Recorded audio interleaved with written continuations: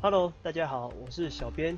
那最近一阵子比较忙一点，就很久没有来跟大家来讲一下最近韩服新推出的这个活动副本。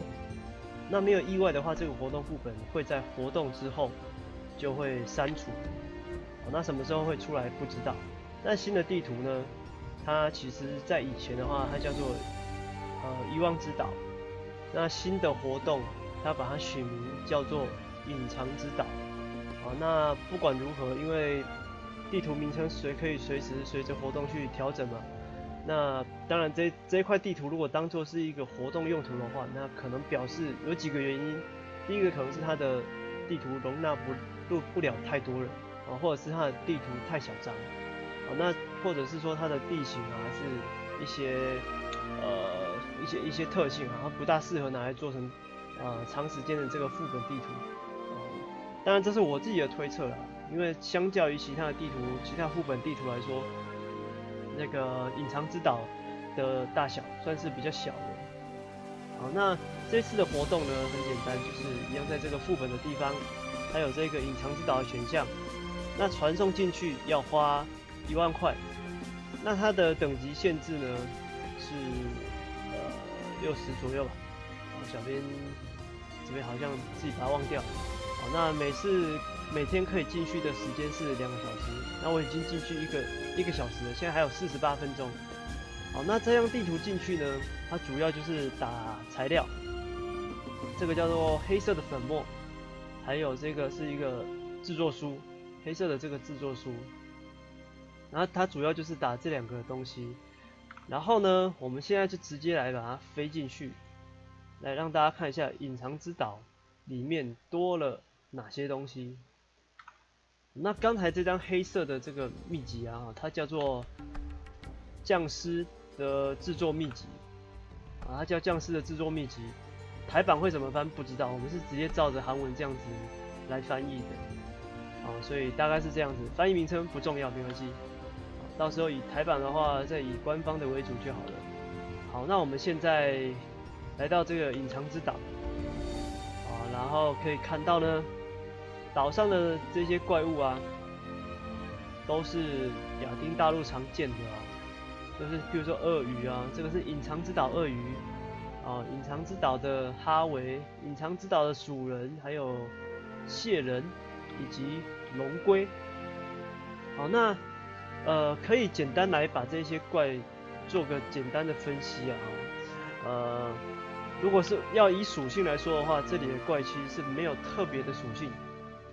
那你要拿什么武器来打都 OK，只要打得到、打得痛就可以了。那这些地方呢，因为它的怪物啊，都会有这个硬皮的怪，像龙龟，它就是硬皮的。啊，那而且龙龟在这边的数量其实还算是蛮蛮常见的，应该蛮多的。哦，所以如果说骑士啊、近战的玩家、近战的角色要进来打的话呢，一定要装这个不坏的武器，譬如说。黑焰，或者是大马，或者是拿呃寒酷之矛，或者是魔杖之类的武器，哦，这样子来打的话就不会有损坏的问题。那这个岛上啊，它全区都是安全区域，啊，它全部都是安全区域，所以你可以在这边自由的练功，啊，不会被人家打扰。那这个场地刚才如果有看到我按的顺卷就知道，它是可以瞬移的，它整个岛上的。这个地图都是可以自由去移动的。那在这个岛上的打的怪物呢，呃，没有什么特别的，就刚才那样那两样。那打的最多的就是黑色粉末。那黑色粉末呢，稍后我们会来做一个介绍，我会再跟大家介绍一下黑色粉末的用途是什么。那我们现在来简单讲一下这个怪物。你可以看一下哦，以这个地图的来说啊。像小编现在拿的是加九的这个风风属性一阶的大马，我们可以看一下，我现在打怪其实是非常的吃力哦，相较于你在外面看到的这个怪物，我大概实测了一下啊，它这边的怪物的强度啊，以攻击刀数来看的话，约莫是呃一般这个亚丁大陆上面看到的两倍啊，譬如说我在亚丁大陆的时候，我砍蟹人。只要九刀八刀，可是我在这边砍，我可能要砍到十八刀。那龙龟的话也将近要砍到二十刀。大家可以算一下，它每次的这个数数字不一定，但是基本上都多蛮多刀的。我们来数一次给大家看好了，一二三四五六七八九十十一十二十三十四十五十六十七十八十九。刚才后来又一下嘛，所以总共是二十刀，一只龙龟要打二十刀。好，然后这里的怪物确实就是比外面的还强。那以经验值来说，那当然也是有比较多一点。可是你说它适不适合拿来当练功的场地？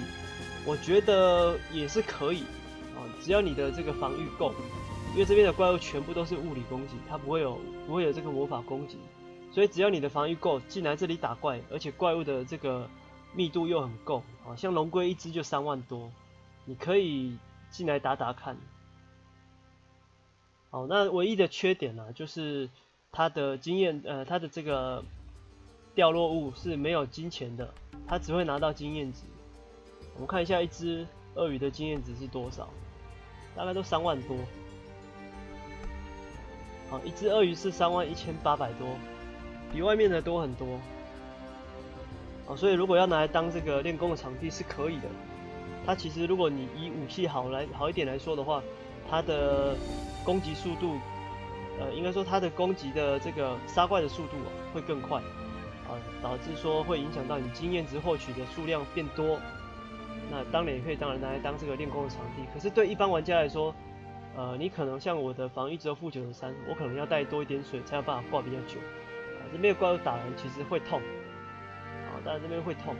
大概以我这样子的能力来说，大概一个小时会耗掉三百罐左右的洪水，是还可以的，啊，是还可以啊。只是说来这里面就不要想要赚钱，赚经验可以，赚钱就不行。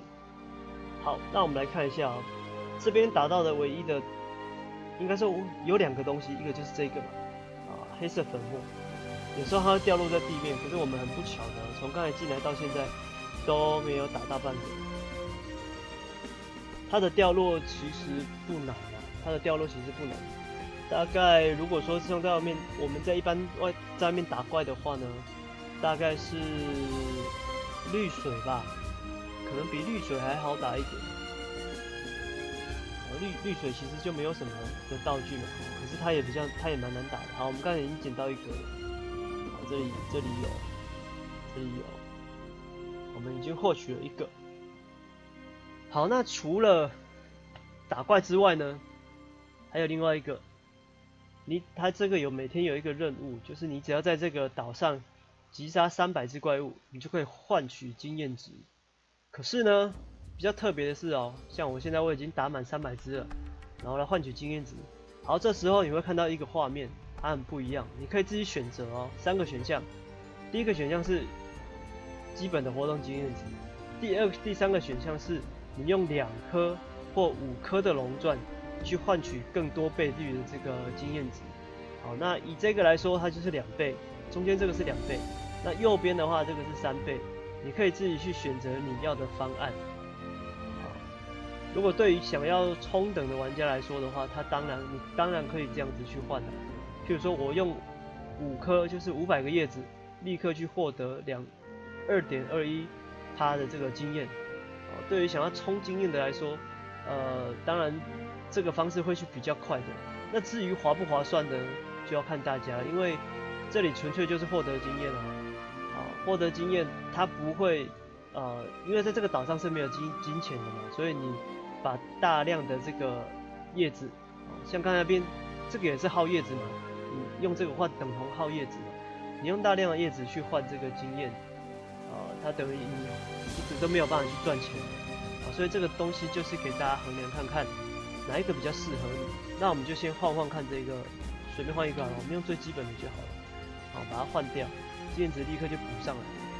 那这样子的活动，每天可以打两个小时，隐藏之岛每天可以打两个小时。好，那。我们现在就先飞回村。那打完这个，如果你有打到很多这个黑色粉末之后嘛，我们像我现在在奇岩，我就可以在这个地方奇岩的这个中间，呃中央这边找到一个 NPC，点它就是它。它可以做什么呢？你可以看到这边可以拿来换一些箱子，这个应该是食物箱、料理箱，然后龙珠、战斗强化卷轴，还有时间补充石。这个是遗忘之哎，刚才那个隐藏之岛的时间补充石。哦，好，那我这边呢，可能调整一下说法，因为通常活动场地它比较不会去做这个啦。但是也不一定啦，当做没说好了。啊，这个时间补充时可能只有在活动时候可以用，那之后就会删除。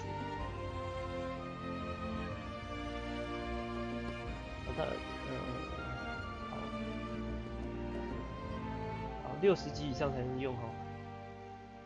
好，那就是可以用这个时间补充时嘛。那最后一个的话就是，你用五十个黑粉末、黑色粉末去换一张匠师的制作秘籍。好，那我们现在因为身上也有匠师的制作秘籍了，所以我先不买。我们呢，先直接来玩玩看匠师的制作秘籍可以做什么。好，我找到一个一个地方，选啊。那我们现在来使用匠师的制作秘籍，使用方式就一样是点两下，把它当道，把这个卷轴当道具用。点两下之后呢，你会看到一个视窗跳出来了。那这个视窗呢，它就是要合成。譬如说，它现在只有只能这样做：一张匠师秘籍加上十五个，它待会会合进去，十五个黑色粉末，你就会去合成一些道具。那它这边说了哦，你每次合成的时候要花一万天币，哦，你才能去抽待会会出现的这些道具。好，那你可以看到我现在上面这边是一九三九五嘛，啊，用下去之后就少一万了。那这时候你还什么都还没有做，就已经先少一万了哦。好，那你可以看到画面这边跳出了一些道具，这是什么意思呢？就是你现在用这个组合，然后待会我按这个抽奖之后呢，我付三万天币，我就有机会去抽到这里的其中一样，啊，这里的其中一样。那如果要以几率来说呢，当然是越左边越小，越右边越大。那最多最多的都是换到这一个石头，这个叫做神秘珠子的制作呃碎片，神秘珠子的制作碎片。那五卷嘛，水晶短剑，这个是不知道是蓝布，反正是蓝布。然后这个是魔王弓，那你有可能获取其中一项。那如果说你对这一些不满意的话呢，这里有一个重置键，按下去之后再花一万块，就可以把上面的这些宝物呢重置。那我们来重置几次试试看哦，因为这个实在很贵，它真的很贵。有按一次，啊，重置了。恶魔王，这个是双手剑吗？矛，啊，然后一样蓝布，这好像是隐藏武魔族武器的蓝布，是是？吗？啊不是，好，然后不管了，再来雷雨之剑，然后后面这个感觉比较不好，那我们再抽一次，哎，这一次又不一样了哦，啊，基本上会有两个武器，一个是杖，一个是这个这边一定是恶魔，那这里就不一定，一定是蓝，一一个红武，一个蓝武，那这边一定是蓝布，那这里就是防五卷，最后就是这个，我们再抽抽看好了，这个有点不好啊。啊比比斯魔杖，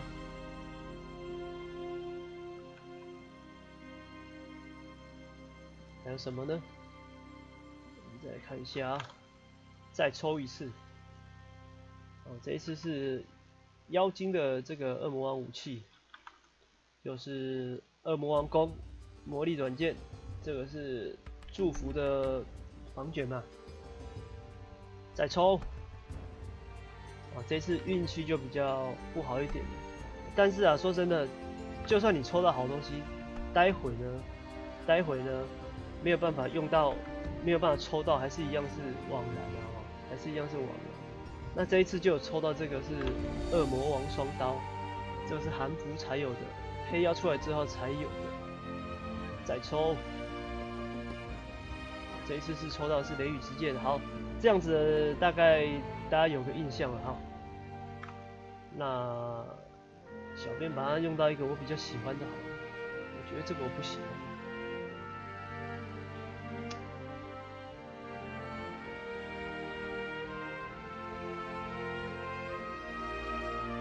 好，就这个吧。好，我们来花三万块把它抽一抽，因为已经快没钱了，抽下去。来来来来来，然后这个，哎，这要手动按吗？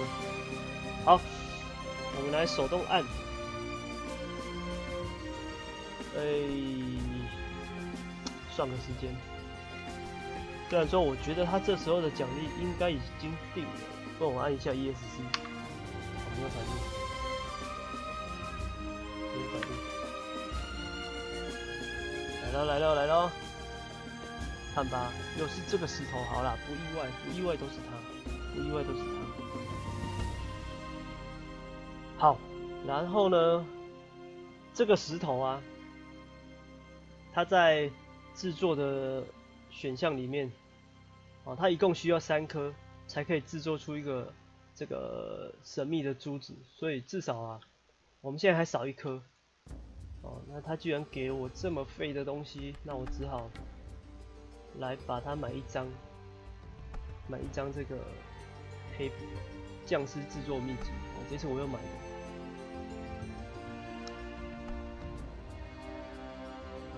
好了，就随便吧。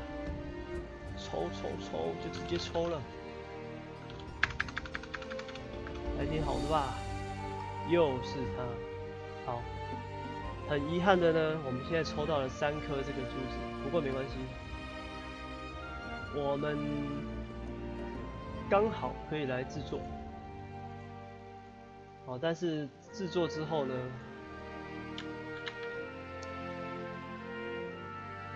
好哦，我截个图。好，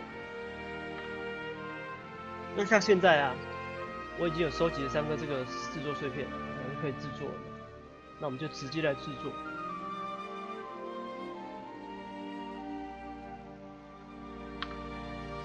制作成功了这个珠子之后呢，呃，我已经不能干嘛了，哦，已经不能做什么用途，因为因为这个必须要有蓝布，它要有蓝布之后呢。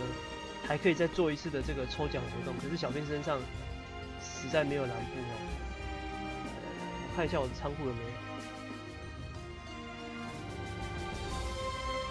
我的仓库应该是没有，没有蓝布，一张都没有。哦，所以这个部分就没有办法再再帮大家介绍。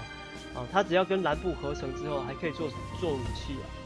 它就是随机抽出一种蓝色的武器或装备。它不见得是武器哦，它可能是装备也有可能。它会随机抽一个蓝布加一颗神秘珠子，就会做出来。好，那这个活动呢，简单来讲就是这样。除了打这个上岛打一些东西之外呢，就是下来下来制作这些东西啊。那有兴趣的当然是可以多参加啦，可是就是上来就是喷钱喷钱这样。那这颗蓝色的珠子就是这颗神秘的珠子啊，目前看起来是没有用途的。可是活动之后，因为它这里没有写删除日期，所以活动之后它会有它的额外的这个用途，我们就先把它锁起来。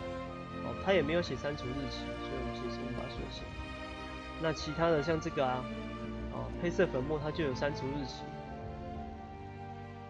好，那这一次的这个隐藏之岛的活动呢，介绍就到这边。